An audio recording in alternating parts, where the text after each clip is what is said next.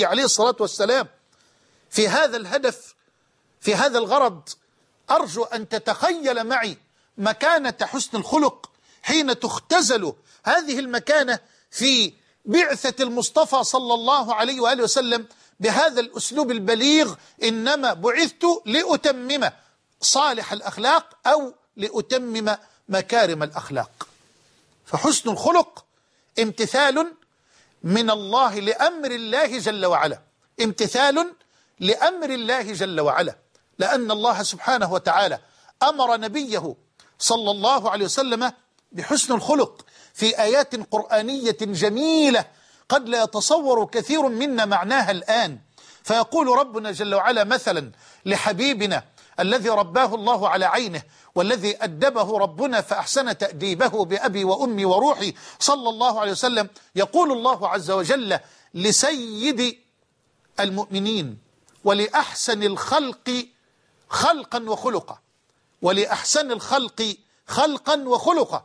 يقول له ربه جل وعلا خذ العفو وأمر بالعرف وأعرض عن الجاهلين. يا الله آية جامعة في حسن الخلق. بهذه الكلمات القليلة. خذ العفو وأمر بالعرف وأعرض عن الجاهلين. هذه الآية جمعت حسن الخلق. جمعت أصول وخصال حسن الخلق. خذ العفو. أي تعامل مع الخلق معاملة كريمة. أي تعامل مع الخلق معاملة كريمة. أي تجاوز عن تقصير المقصر. خذ العفو وعن خطأ المخطئ. خذ العفو وعن جهل الجاهل. خذ العفو ولا تتكبر على أحد من الخلق. لا تتكبر على الصغير ولا على الفقير ولا على الضعيف. وتعامل مع الخلق معاملة كريمة. تتلاءم مع أحوالهم ومع ظروفهم وواقعهم. خذ العفو وأضف ما شئت من المترادفات والمعاني تحت هذا الأمر في هاتين الكلمتين. خذ العفو أي تعامل مع الخلق بحسن الخلق. تعامل مع الخلق بكرم بكل ما تحمله الكلمة من معنى. وأمر بالعرف أأمر بكل حسن. جميل كامل في الأقوال وفي الأفعال وفي الأحوال وأمر بالعرف ولما كان ذلك يستدعي ويستلزم أحيانا أن يجهل الجاهلون على أصحاب هذه الأخلاق الهينة اللينة الكريمة لما كان ذلك مستلزما لذلك أمر الله الحبيب صلى الله عليه وسلم في أمر ثالث في هذه الآية الكريمة فقال جل وعلا وأعرض عن الجاهلين. خذ العفو تعامل مع الناس بعفو وكرم وحسن خلق وتجاوز عن أخطائهم وتقصيرهم وليتسع صدرك لجهلهم وليتسع صدرك بحلم بالغ لسفاهتهم عليك وأمر بالعرف أؤمر بكل جميل من الأقوال وأمر بكل جميل من الأفعال وأمر بكل جميل من الأحوال وإن اعتدى عليك أحد وأساء إليك أحد وآذاك أحد بكلمة أو بفعلة أو بإيماءة أو حتى بيده. أعرض عن الجاهلين. خذ العفو وأمر بالعرف وأعرض عن الجاهلين. فلا بد أن يعلم السالكون هذا الطريق أنه ليس مفروشا بالورد ولا بالزهور والرياحين ولكنه طريق طويل شاق حافل بالعقبات والأشواك.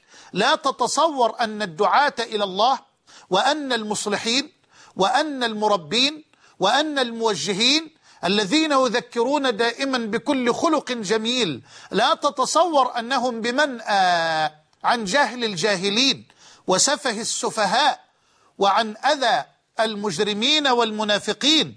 لو كان ذلك كذلك لسلم سيد الخلق أجمعين من الأذى ومن الجهل ولكنه تعرض للأذى تعرض لأذى المجرمين. ولأذى المشركين ولسفه المنافقين ولسفه الجاهلين فتحمل الأذى وتحمل البلاء ولم يرد جهل الجاهلين بجهل مثله حاشاه وهو المأمور من ربه بقوله جل علاه ولو كنت فظا غليظ القلب لانفضوا من حولك فاعف عنهم واستغفر لهم وشاورهم في الأمر فإذا عزمت فتوكل على الله.